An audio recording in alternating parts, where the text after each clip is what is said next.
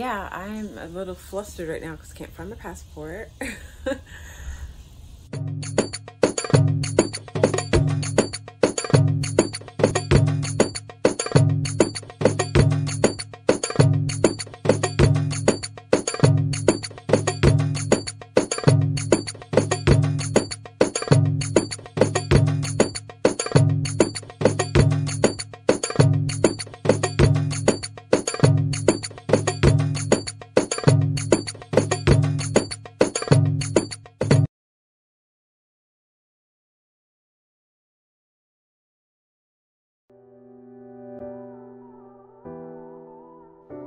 As much as we hated to leave this lap of luxury, in order to see all that the Arabian Peninsula has to offer, we had to hit the road.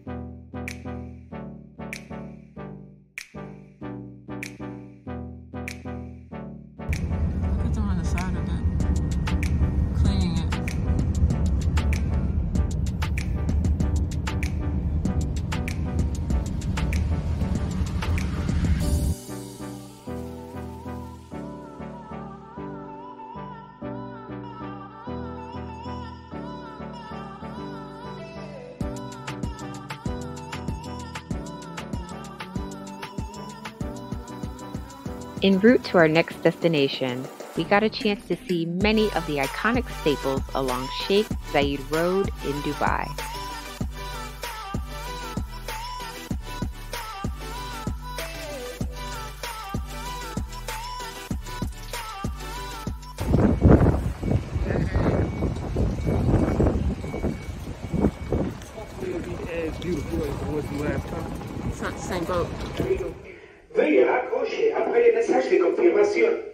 Das vídeos las sigue Ahora, por favor, confirmen que han visto el vídeo marcando el número 881 desde el teléfono de su camarote. Por favor, cuelguen después del mensaje de confirmación. Видео, которое вы только что посмотрели, можно посмотреть в любое другое время во время круиза на том же канале, на канале номер один. Теперь, пожалуйста, подтвердите просмотр видео, набрав номер 881 с телефона в каюте. Я повторяю, наберите номер 881 с телефона в вашей каюте. Пожалуйста, повесьте трубку сразу после сообщения о подтверждении.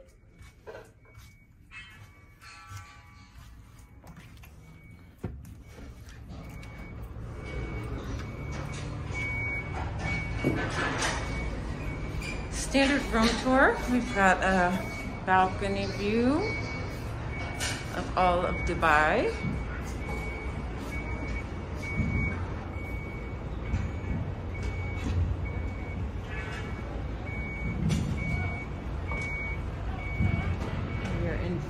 Rashid right now.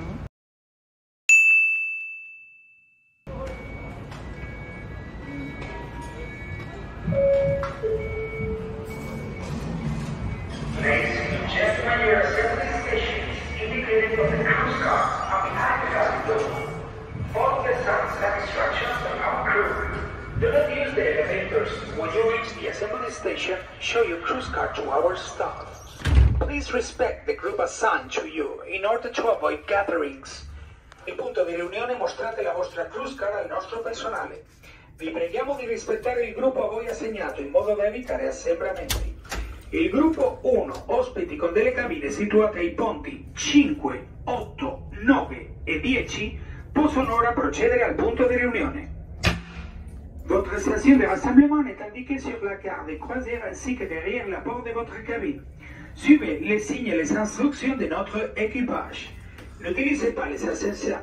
Lorsque vous arrivez au point de rassemblement,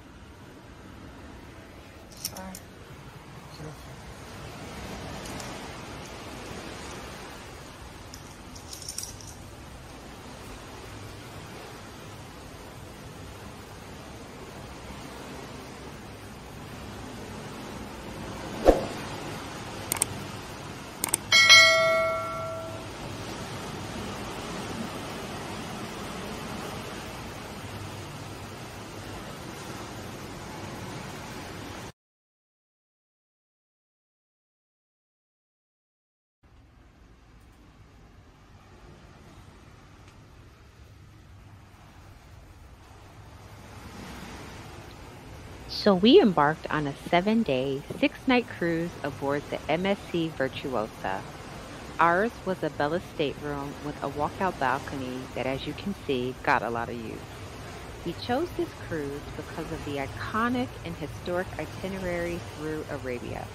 Things, however, didn't turn out quite the way we expected, but I'll share more about that experience later.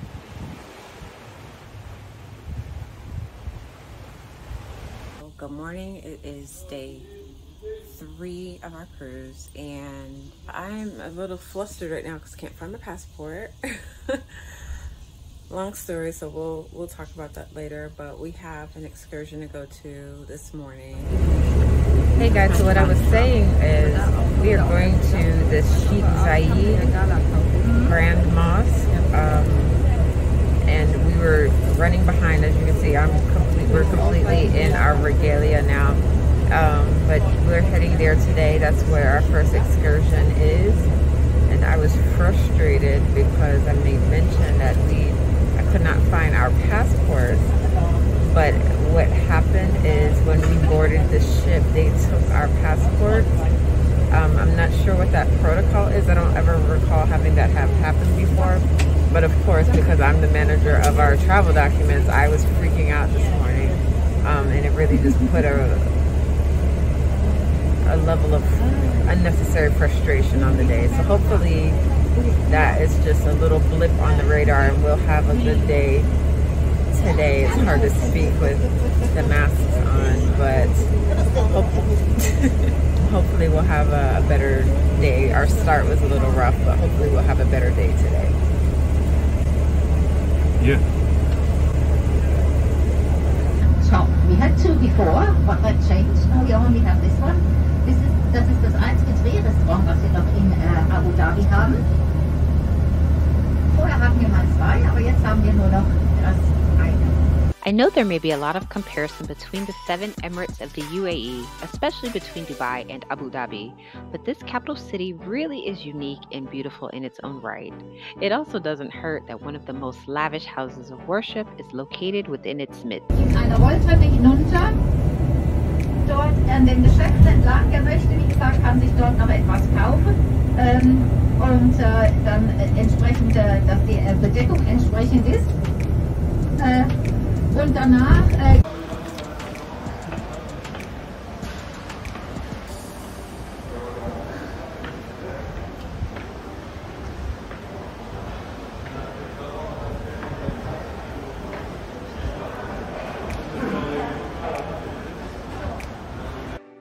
The Sheikh Zayed Grand Mosque is one of the world's largest mosques. It is a testament to the very best of Islamic, Moorish, Ottoman, and Mughal architecture.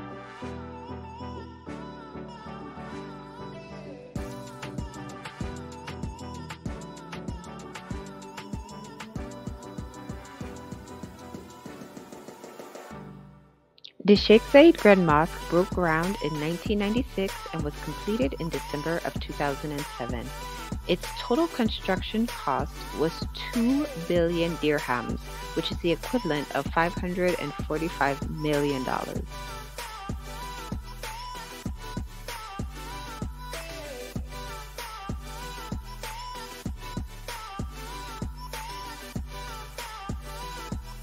The mosque features 82 domes, more than 1,000 columns, several 24 karat gold gilded chandeliers, and the world's largest hand knotted carpet.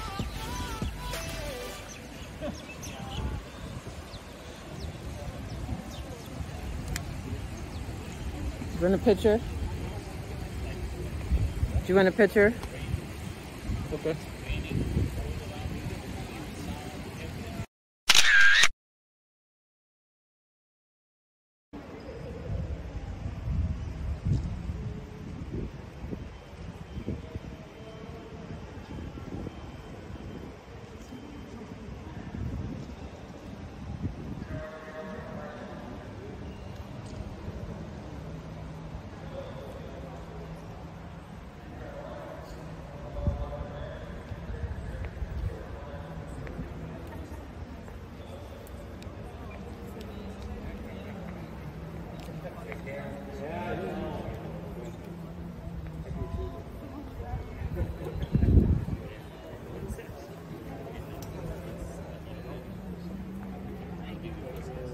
The mosque has four minarets, two of which are shown here, and each are 348 feet high.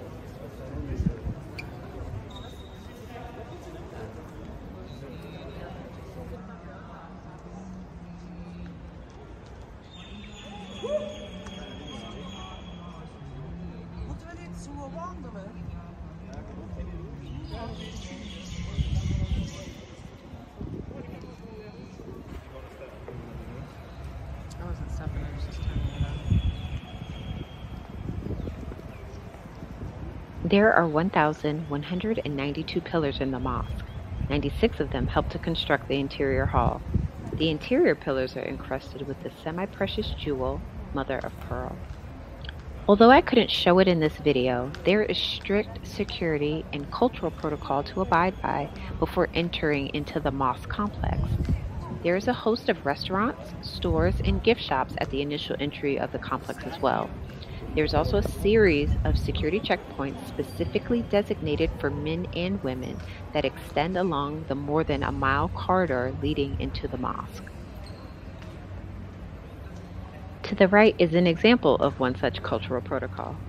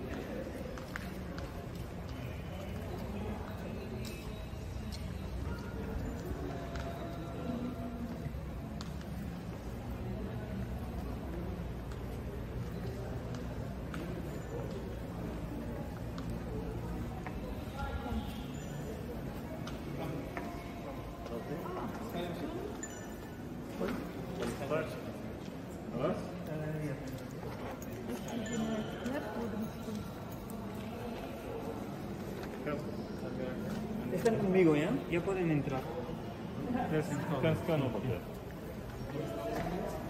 It doesn't work.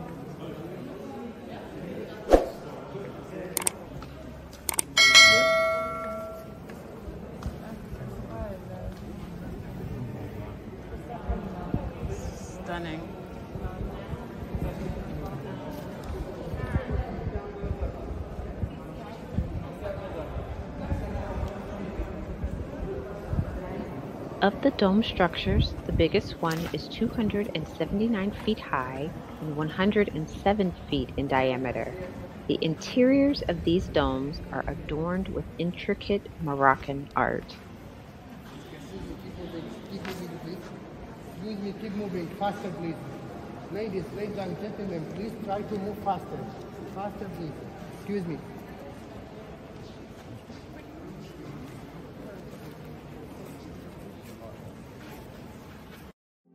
The mosque has seven Lux crystal chandeliers located in the main prayer hall and other foyer entrances.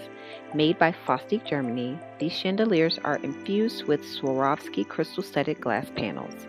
All these chandeliers are made from brass, stainless steel, and around 40 kilos of galvanized gold. The largest of these, which is also the second largest in the world, adorn the main prayer hall. It is 49 feet high with a diameter of 33 feet and weighs a whopping 12 tons. The other six weigh closer to 8 tons.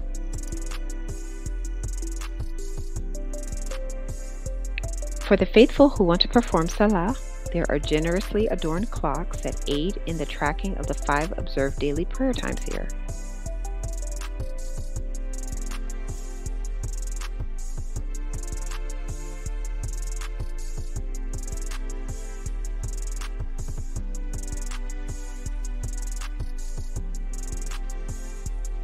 The Sheikh Zayed Grand Mosque was built with 100,000 tons of white marble imported from Macedonia.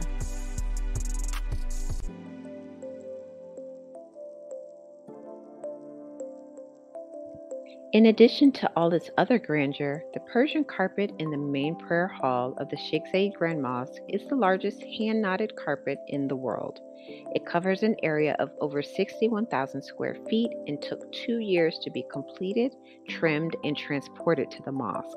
Around 1,200 artisans worked on the carpet, creating nine different parts that were later assembled and weaved together into one piece.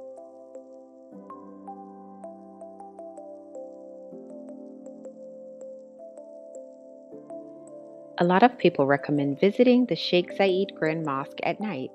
This is because the lighting system is just as unique as the mosque itself. It is designed to illuminate the mosque structure based on the different phases of the moon.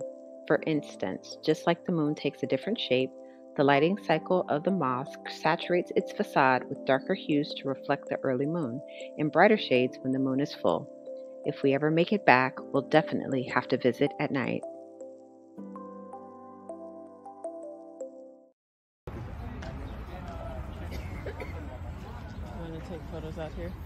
On this box at the angle would be really nice. Okay.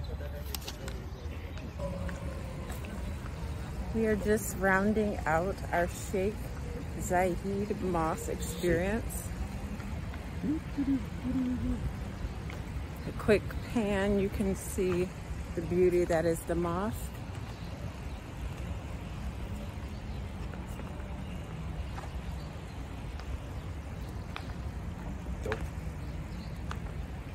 And this is one of the, actually it's the fourth largest mosque in the world, if I'm not mistaken.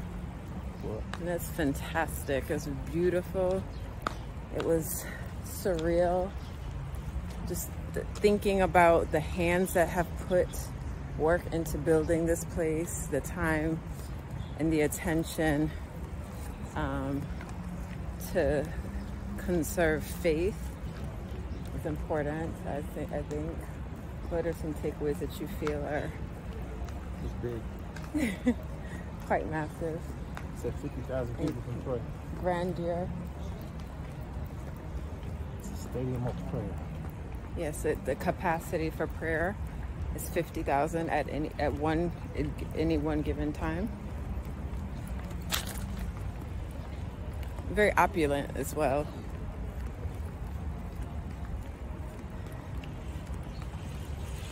Um, very secure as well.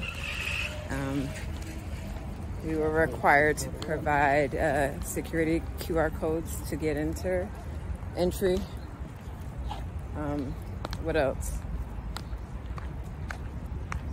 I Uh, yeah, those QR card, uh, the QR codes, and then You needed a green pass, detector.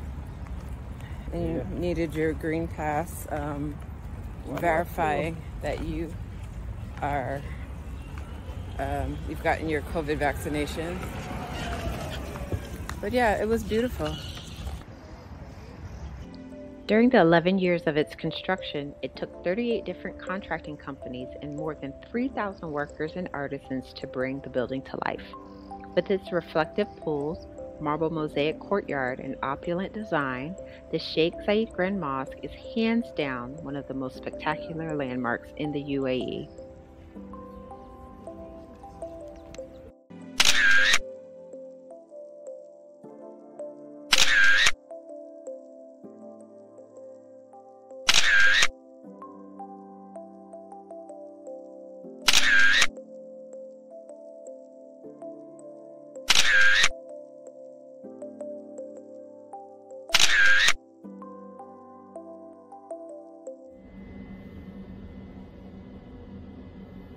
After our visit to the mosque, we did do more guided touring of Abu Dhabi, but posting that video just seemed pointless since the Sheikh Zayed Grand Mosque would obviously be a tough act to follow.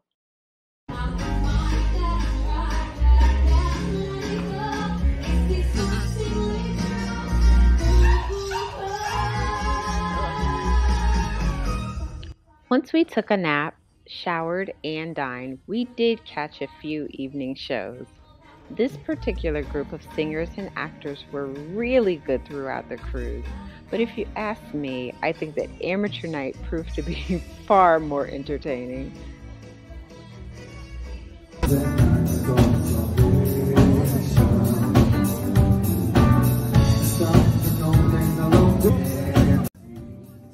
I don't know what it was about these two, but once our good sis here got some liquid courage in her system, it was like a gentrified version of You Got Served on the Lido deck.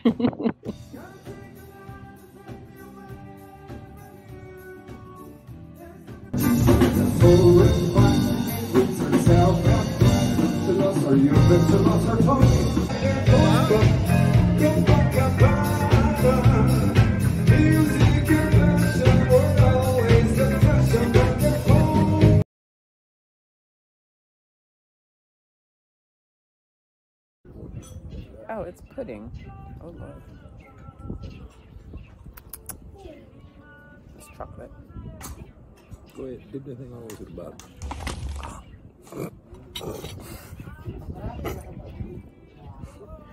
now, we spent a lot of money on them teeth.